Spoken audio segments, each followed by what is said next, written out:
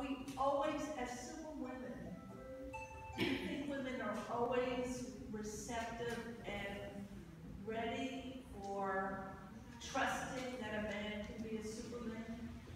Is, the- is the door really open to that possibility? Or have many women shut the door to that possibility and taken it on themselves? I think we'll go back to fear, like she was saying before, fear of everything falling apart.